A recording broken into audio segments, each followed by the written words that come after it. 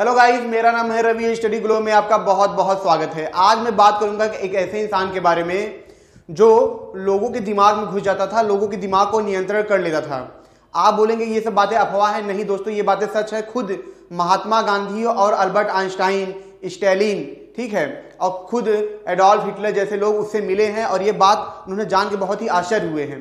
जी हाँ दोस्तों, आज हम बात करेंगे वॉल्फ मेसिंग के बारे में, जिनका जन्म कहाँ पे हुआ था? पोलैंड में हुआ था। ये इंसान इतना ताकतवर था कि सिर्फ़ अपने विचार से किसी भी इंसान को कंट्रोल कर सकता था। इसीलिए स्टेलिन ने इसे अपना ब्रह्मास्त्र बनाया था सेकेंड वर्ल्ड वार में। ये कहानी कैसे शुरू होती है? आइए हम जानते हैं। जैसा कि आप देख रहे हैं, ये वॉल्फ मिसिंग है, इनका चेहरा देख रहे हैं। इनका जो पूरा नाम होता है, वॉल्फ गरियोविच करके होता है, शुरू में। वॉल्फ मिसिंग इनका नाम कैसे पड़ता है, हम आगे जानेंगे। पोलैंड में इनका जन्म होता है। इनके जो पिताजी होते हैं, बहुत ज़्यादा अच्छे पैसे नहीं कमा रहे होते हैं बहुत घर में गरीबी होती है, बहुत ज़्यादा तकलीफें होती हैं।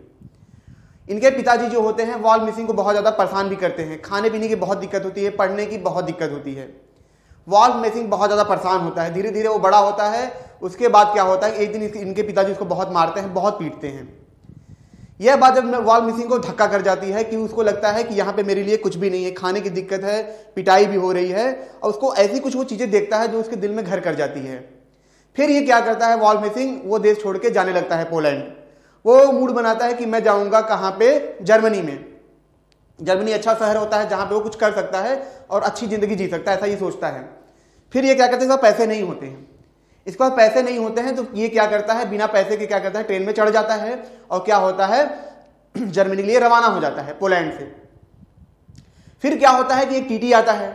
टीटी की आवाज़, पैर की आवाज़ सुनते हुए ये डर जाता है। इसकी साँसें रुक जाती है, इसको पसीना आने लगता है, ये सोचता है, अब क्या होगा? घर से भागा हूँ, पैसे भी नहीं है और जेल में डाल के टीटी मेरे साथ क्या करेंगे, क्या नहीं करेंगे, मुझे नहीं पता। ये बहुत ज़्यादा डरता है। जैसे टीटी पास आता है, ये क्या करता है? अपनी आँखें बंद कर लेता है। टीटी दूसरों का टिकट ले रहा होता है, फिर इसके, इसको थोड़ा सा मौका मिलता है। इतना डरा हुआ तो इसकी धड़कन बढ़ जाती है और ये क्या करता है? एक कागज़ उठाता है सफ़ेद कलर का। आप सोच के आश्चर्य होगा कि ये वो वक्त होता है जब इसे अपनी शक्ति के बारे में पता चलता है, इसके अपनी पावर के बारे में पता चलता है। ये क्या करता है? गॉड से प्रे करने लगता है। जैसा कि हम हर हर इंसान डर के क्या करता है? प्रे करता है। ये प्रे करता है, उस प्रे में बोलता है गॉड ये मेरा जो खाली कागज़ है, इसको टिकट में बदल दो, मुझे बचा लो। टीटी इसके पास आता है और ये मेल जो वॉल्फ होता है, ये क्या करता है, उनको अपना खाली कागज़ देता है। और कागज़ देने के बाद ये क्या होता है, जो सीट होती है इसके नीचे घुस जाता है, डर की वजह से कहीं टीटी इसको पकड़ के ना ले जाए। टीटी क्या करता है, उस कागज़ को देखता है। जैसे उस कागज़ को वो देखता है, वो देखता है कि उसमें तो टिकट है। और टीटी उसको बोलता है कि तुम फालतू का डर रहे हो। क्यों तुम डर रहे हो जब तुम्हारा टिकट तुम्हारे पास है? बाहर निकलो, ऊपर आता है। बोलता लो, अपना टिकट वापस चला जाता है वो टीटी। और फिर वो जब वॉल मेसिंग देखता है कि कागज़ तो खाली है। उस वक्त उसको एहसास होता है कि वो कुछ भी कर सकता है।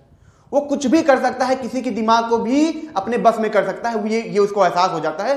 पहली बार उसके अपनी पावर का पता चलता है। वॉल मिसिंग की जो किताब लिखी गई, उनकी बायोग्राफी जो लिखी गई, उसमें वो बताते हैं कि जब पहली बार टीटी मेरे पास आया था, मुझे उस वक्त अपनी हर एक चीज़ याद है। अपनी धड़कन याद है, जो पसीना चूरा था, वो याद है। उस टीटी की आवाज़ याद है, उस टीटी की कदकाठी, सब कुछ उसको याद है, क्योंकि इतना डरावना पल था। उसके बाद क्या जैसे वॉल मिसिंग को अपने बारे में पता चलता है, वो जैसे जर्मनी पहुँचता है, अब क्या करता है? वो क्या करता है कि लोगों को उनके भविष्य के बारे में छोटी छोटी चीज़ें बताने लगता है। पहले तो कुछ लोगों की मदद करता है, फिर धीरे धीरे वो फ़ेमस होने लगता है, जैसा कि आप हम सब जानते हैं कि आसपास कोई अच्छा करता है तो हम दस लोगों से बताते हैं, वो फ़ेमस होने लगता है। अब होता क्या है धीरे धीरे और लोग आते हैं तो वो अपना गुजारा करने के लिए लोगों को भविष्य बताता कि आप ये करोगे, आप ये कर लोगे तो आपका ये हो जाएगा, आने वाले टाइम आपकी शादी हो जाएगी। ऐसे करता रहता है, जैसा कि आपने देखा भी होगा, यहाँ भी बहुत लोग करते हैं। लेकिन इसकी भविष्यवाणी बहुत ही सटीक होती थी। ये जो बोलता था वही होता था। किसी के दिमाग को कंट्रोल कर लेता था कहीं कहीं जादू दिखाने लगता था, कुछ भी करने लगता था। अब इसकी चर्चा फैलने लगती है और यह बात पहुँचती है हिटलर तक। हिटलर को पता चलता है कि एक ऐसा इंसान है कि जो क्या करता है, भविष्य बताता है। फिर क्या होता है कि एक सभा में वॉल्व जाता है, सभा में जाता है, वहाँ पे क्या होता है? कि सभा बैठी होती है, इससे सवाल पूछा जाता है कि उस टाइम जैसा कि न्यूज़ भी मतलब माहौल पूरा बन रहा था, युद्ध का, युद्ध होने भी लगे थे, माहौल पूरा बना था कि युद्ध होगा, ये सब, वो सब। उसी वक्त ये घोष मतलब एक भविष्यवाणी करता है कि अगर जर्मनी ने रसिया पर अटैक किया तो दो महीने के अंदर जर्मनी हार जाएगा। बहुत बुरी तरह हारेगा और हिटलर की मौत हो जाएगी। यह बात पूरे जर्मनी में फैल जाती है। क्योंकि ऐसा भविष्य वक्ता जब भविष्यवाणी करे जिसकी हर बातें सही हो जाएँ तो लाजमी था कि इस बातों का फैलना। हिटलर को बात पता चलती है। हिटलर को कहता है कि एक काम करो जो वॉल मिसिंग को मारेगा उसका सर काट के मुझे देगा उसको मैं दो लाख रुपए इनाम दूँगा।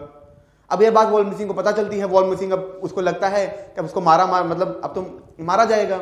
अब वो क्या करता है? भाग जा, भाग जाने की कोशिश करता है। वो भागता रहता है भागता रहता है लेकिन क्या होता है? कुछ पुलिस वाले क्या करते हैं? जो जर्मन पुलिस होते हैं उसको पकड़ लेते हैं। और उसको जेल में ले जाके लॉकअप में बंद कर देते हैं। अब वॉल्व मिसिंग, ठीक है, अब वॉल्व मिसिंग करे क्या? अब उसको ये पता था कि ये सब मुझे क्या करेंगे? मार डालेंगे। अब उसको बचना मुमकिन, नामुमकिन था, लेकिन फिर वो अपनी शक्ति का उपयोग करता है। वो क्या क्या करता है? जो वहाँ पे पुलिस होता है उसको क्या करता है? अपनी इच्छा शक्ति से उसके विचार में भरता है कि मैं तुम्हारा दोस्त हूँ, मुझे तुम खोलो। फिर वो क्या करता है? पुलिस वाला दरवाज़ा खोलता है, अब वॉल्व मिसिंग क्या होता है? वहाँ से बाहर चला जाता है, कोई जर्मन उसे पकड़ नहीं पाता है। दोस्तों, ये कहानी सच है। ये हंड्रेड परसेंट कहानी सच है। इन पे बायोग्राफी भी लिखी गई है और खुद महात्मा गांधी, अल्बर्ट आइंस्टाइन, ये लोग खुद उनसे मिले हैं। उन्होंने खुद अपने बायोग्राफी में वॉल मिसिंग के बारे में खुद बताया है। तो ये कोई अफवाह नहीं है, ये हंड्रेड परसेंट सच है। अब क्या होता है कि वॉल मिसिंग क्या होता है? भागते भागते क्या होता है? चला जाता है रसिया में। क्योंकि अब कहाँ जाए वो? तो रसिया में चला जाता है, वहाँ पर अपना छोटा मोटा कारोबार करने लगता है। लेकिन जो स्टेलिन होते हैं ना, इनको जैसे बहुत ही ज़्यादा वो होता है, आश्चर्य होता है कि वॉल्व मिसिंग जैसा इंसान जो है, जो भविष्य के बारे में बताता है, जो लोगों के दिमाग को कैप्चर कर लेता है, दिमाग को, दिमाग के अंदर जाके उसको जो चाहे वो करा सकता है, उनकी धारणा को क्या करता है, बदल सकता है। वॉल्व ये स्टेलिन क्या करते हैं, उसको बुलाते हैं। अच्छा उसको बुलाते ऐसे नहीं है, वो क्या करता है, वहाँ पे भी स्टेज शो कर रहा होता है, क्योंकि एक तरीके से जादूगरी होता है। स्टेज शो करते करते क्या होता है, भविष्यवाणी कर रहा होता है, तभी स्टेलिन की जो सेना होती है, जाती है, वो पर्दा उठने से पहले क्या होता है, उसको पकड़ लेती है। अब वो घोषणा करते कि जो वॉल्व मिसिंग है, इनको क्या किया है? रसियन आर्मी ने पकड़ लिया उस टाइम यूएसएसआर होता था। अब क्या होता है? इनको लेके जाया जाता है स्टेलिन के पास। जैसे स्टेलिन के पास जाते हैं तो स्टेलिन उससे पूछते हैं कि, मैंने सुना है कि तुम क्या करते हो कि लोगों को दिमाग में जो चाहे वो चीज़ें भर देते हो और उनके अपने हिसाब से काम कराते हो। जो चाहोगे वो इंसान वही देखेगा। तो ये वाल्व मिसिंग बोलते हैं हाँ मैं ये कर सकता हूँ। तो बोलते हैं, ठीक है, अगर तुम ये कर सकते हो तो मैं तुम्हें एक चैलेंज देता हूँ। वो चैलेंज तुम करके दिखाओ, तब मैं मान जाऊँ कि हाँ तुम सही हो। अगर ये चीज़ सही हो जाती है तो मैं तुमको बहुत सारे इनाम दूँगा। अब क्या होता है कि जो स्टैलिन होते होते हैं, उसके सामने शर्त रखते हैं वॉल मिसिंग के सामने, कि यहाँ का जो सेंट्रल बैंक है, तुम वहाँ पे जाओगे, अब मैं तुम्हें तुम्हें कुछ नहीं मिलेगा, तुम्हें एक लाख रुबेल वहाँ से क्या करना है, निकाल के लाना है। वॉल मेसिंग के पास कुछ नहीं होता, वहाँ पे लाखों सैनिक लगे होते हैं, चारों तरफ़ पुलिस लगा होता है, हर कोई वहाँ पे खड़ा होता है। वॉल मिसिंग कहता है वॉल मिसिंग कहता है, ठीक है, मैं जाऊँगा और मैं वहाँ से पैसे लेके आऊँगा। वाल्व मिसिंग जाता है, हर कोई देख रहा है उसको, हर चारों तरफ़ से लोग देख रहे हैं, पहरा है चारों तरफ़ से, हर कोई देख रहा है। वाल्व मिसिंग क्या करता है, जो वहाँ पे सेंट्रल बैंक में जो मैनेजर होता है, जो काउंटर होता है, उसको क्या करते हैं, ये कागज़ खाली थमाते हैं। अब उसको दिखता है कि एक लाख रुपए, वो एक लाख रुपए निकाल के इनको दे देता है स्टेलिन मतलब वाल्व मिसिंग को। अब वाल्व मिसिंग आते हैं स्टेलिन को देते हैं। स्टेलिन सॉफ्ट स्टेलिन परेशान हो जाते हैं अरे ये कैसा हुआ? क्योंकि ये क्या थे रीजनल थे इंसान। ये कम्युनिज्म मानते थे। अब ऐसी चीज़ें जो सारी धारणाओं को खत्म कर दे जिसपे इनकी सोच की नींव टिकी है, वो खत्म कर दे रहा था। ये समझ नहीं पा रहे थे कि ऐसा इंसान कैसे कर सकता है। ये फिर उसमें शक करते हैं, वो बोलते हैं कि नहीं, ऐसा नहीं है, कुछ ना कुछ झोल मेल है। जादू में बहुत सारे झोल मेल होते हैं। एक काम करो कि जो तुमने उसे कागज़ दिया था, जाओ उसे एक लाख रुपए वापस दो और फिर वो कागज़ लेके आओ, क्योंकि जो तुमने उसको दिया था। क्योंकि अगर तुमने कागज़ उसको सही दिया होगा तो वो कागज़ उसके पास होगा। तो वॉल मिसिंग जाता है एक लाख रुपए देके उनको, जो वहाँ पे मैनेजर होते हैं, उनको देता है। अब बोलता है, भैया, मेरा कागज़ दे दीजिए, एक लाख रुपए का। अब वो इंसान कागज़ देखने लगता है। कागज़ तो मिलता ही नहीं है। खाली कागज़ वहाँ पे अब वो परेशान, अब वो इतना परेशान हो जाता है, वहाँ पे बेहोश हो जाता है। क्योंकि उसको लगता है, अब तो मैं जेल में चला जाऊँगा, धोखाधड़ी में। फिर क्या होता है स्टेलिन की बात पता चलती है वहाँ तो कोई कागज़ ही नहीं है, खाली कागज़ है स्टेलिन फिर एकदम आश्चर्य हो जाते हैं। स्टेलिन सोचते हैं ये ये कैसा इंसान है? ये तो बहुत ही खतरनाक इंसान है। ऐसा कैसे हो सकता है? स्टैलिन फिर भी भरोसा नहीं करते, इतना बड़ा ताना था ऐसे कैसे भरोसा करे? वो बोलते हैं, एक काम करो कि मैं एक तुम्हें चैलेंज और देता हूँ, अगर तुमने ये कर दिया तो मैं मान जाऊँगा हाँ तुम सच में बहुत बड़े वो जादूगर हो। मतलब सच में किसी भी इंसान के अंदर तुम जा सकते हो, उनके माइंड को क्या कर सकते हो, अपने हिसाब से चला सकते हो। ये बोलते हैं कि मेरा जो कमरा है, उस कमरे में कोई नहीं आ सकता, क्योंकि मेरा जो जो जितनी बड़ी सुरक्षा मेरे पास है, उतनी बड़ी सुरक्षा पूरी दुनिया में किसी को नहीं मिलती है। अब दोस्तों, ये बात सच है, स्टैलिन के ऊपर बहुत ज़्यादा खतरा होता था, इसलिए जहाँ पे वो सोचे थे, वहाँ पे कई सौ कमरे थे। उस कमरे में सारे कमरे एक जैसे बने हैं। स्टैलिन किसमें सोएगा, किसमें नहीं सोएगा, किसी को नहीं पता। लाखों, लाख मतलब हज़ारों हज़ारों सैनिक चारों तरफ़ लगे हैं, एक परिंदा भी वहाँ पर नहीं जा सकता था, इतना कठिन पहरा था। और कमरे की बात, खास बात ये थी दोस्तों, उसी कमरे के अंदर आप कोई भी कमरा खोल के दूसरे कमरे में जा सकते हैं। वहाँ पे मतलब स्टैलिन को जज पकड़ना बहुत ही मुश्किल था। ऊपर से इतना ज़्यादा पहरा तो वॉल्फ बोलता है ठीक है मैं आपका ये चैलेंज एक्सेप्ट करता हूँ मैं आऊँगा। तो स्टेलिन बोलते हैं रात को तुमको 12 बजे मेरे पास आना है। मैं देखता हूँ तुम कैसे आ पाते हो। अब क्या होता है कि जैसे 12 बजता है स्टैलिन उठते हैं उसको देखते हैं और डर जाते हैं। वो, तो, देख के एकदम कोई भी इंसान का डर जाएगा अरे यहाँ कैसे आ गया? तुम बोलते तुम यहाँ कैसे आए? तो वो बोलते हैं वॉल्फ बोलते हैं कि मैंने आपके जितने पहरेदार थे मैंने सबसे यही बोला कि मैं बैरिया हूँ। बैरिया क्या था? उनका जो सबसे राइट हैंड था जो सबसे बड़ा कमांडिंग ऑफिसर था, वो बैरिया था। तो बैरिया को तो कोई रोकेगा नहीं। अब ये बात जब उनकी स्टैलिन को पता चलती है, इतनी ज़्यादा आश्चर्य हो जाते हैं, इतने ज़्यादा आश्चर्य हो जाते हैं, वो उसको कहते हैं कि मैं तुमको पूरी फ्रीडम देता हूँ, तुम पूरे रूस में कहीं भी रहो, कुछ भी करो, तुमको कोई नहीं रोकेगा। क्योंकि स्टैलिन फिर, परेशान, और स्टैलिन फिर क्या करते हैं, अपने साइंटिस्ट और अपने जो कमांडर होते हैं, उनको बोलते हैं कि इस इंसान का अध्ययन करो। ये इंसान परमाणु बम से भी ज़्यादा घातक है। क्योंकि परमाणु बम क्या है? एक सेना जो गिराए किसी देश पे। लेकिन अगर इस इंसान की ताकत हमको मिल गई तो जो सेना हमारे ऊपर परमाणु बम गिराने वाली है, हम उसकी धारणा को चेंज कर देंगे, उसके माइंड को चेंज कर देंगे तो वो क्या करेगा? अपने ही देश में बम गिरा देगा। और उसका देश खत्म हो जाएगा। और ये तो बिना बम गिराए हुए बम गिरा दिया। ये बोलते हैं, ये इंसान ब्रह्मा साबित होगा, परमाणु बम से भी घातक साबित होगा। ये ये जो धारणा है, सबसे खतरनाक है। उसके बाद क्या होता है दोस्तों? कि वॉल मिसिंग पूरे रसिया में घूमता है।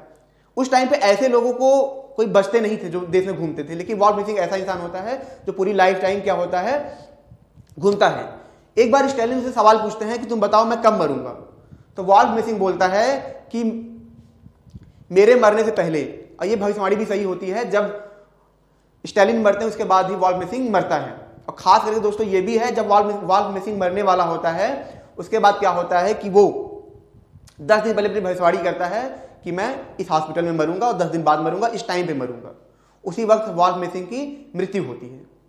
तो इस तरीके से वॉल्व मिसिंग क्या करता था? लोगों के दिमाग को कैप्चर कर लेता था। लोगों के दिमाग में घुस के जो चाहे वो करवा लेता था। एक तरीके से हाइपर हेप्नोटाइज करता था। अब आप यहाँ पर दिख रहे होंगे अल्बर्ट आइंस्टाइन है एडिंगटन है, यहाँ पे वॉल्व मिसिंग है। ये क्यों है? अल्बर्ट आइंस्टाइन एक बार एक इनके मित्र थे साइंटिस्ट एडिंगटन दोनों साथ में जा रहे थे, सफ़र कर रहे थे। तो वहाँ पे एक मीटिंग होती है मतलब वहाँ पे पार्टी होती है, उसी दौरान वॉल मिसिंग से उनकी मुलाकात होती है। अब क्या होता है कि ये सब उनके बारे में बहुत सुन के, सुने हुए रहते हैं। अब आइंस्टाइन क्या है लॉजिकल इंसान है। इनको हर हर चीज़ पीछे लॉजिक चाहिए। तो ये बोलते हैं कि ठीक है, मैं तुम्हें देखना चाहता हूँ, क्योंकि मैं तुम्हारे बारे में बहुत ज़्यादा सुना है। हम काफ़ी ज़्यादा, हम जानना चाहते हैं कि आप कैसे कर सकते हैं। तो वॉल मिसिंग वॉल कहते हैं, ठीक है। तो वॉल मिसिंग बोलते हैं एडिंगटन बोलते हैं कि जो मैं सोच रहा हूँ वो आप करके दिखाओ कि मैं क्या सोच रहा हूँ, आप वो करूँ। तो वॉल मिसिंग क्या करते हैं आइंस्टाइन की जो मूछ होती है, वहाँ पे बाल होते हैं उखाड़ लेते हैं। जब उखाड़ते हैं तो एडिंगटन सॉफ्ट रह जाते हैं। तो वॉल मिसिंग एडिंगटन को बोलते हैं कि मैं जानता हूँ कि आप ये, आपकी जो इच्छा थी, काफ़ी वक्त से कि आप आइंस्टाइन की मूछ की एक बाल उखाड़ के रखें। यह बात सुन के दोनों सॉफ्ट हो जाते हैं, दोनों हंसने लगते हैं। क्योंकि उनके पास इसका कोई प्रूफ नहीं ये कैसे काम करता है, बस ये चमत्कार था। महात्मा गांधी खुद इनसे मिलते हैं वॉल मिसिंग से, और ये बोलते हैं कि इंसान की क्षमता इतनी ज़्यादा है वो कुछ भी कर सकता है, वो वॉल मिसिंग से बहुत ज़्यादा इंप्रेस होते हैं।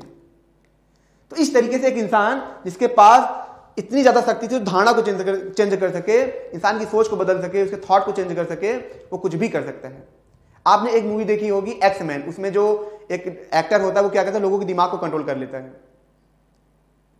और दोस्तों देखा जाए तो इंसान दिमाग को ही कंट्रोल करता है, और उसे कुछ भी कर सकता है, जैसे महात्मा गांधी। वो लोगों को इतना इन्फ्लुएंस कर पाए कि लोगों ने उनकी बात मानी। लोगों, वो इतना इन्फ्लुएंस कर पाए सही वे में कि अगर वो चाहते तो लोग उनके लिए जान देते थे।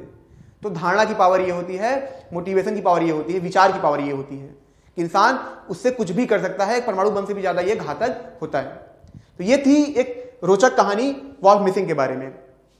अगर ये आपको अच्छा लगा हो तो लाइक करें शेयर करें कमेंट ज़रूर करें और शेयर इसलिए करें ताकि और भी लोगों को इसके बारे में पता चले। मिलते हैं नेक्स्ट लेक्चर में। Thank you so much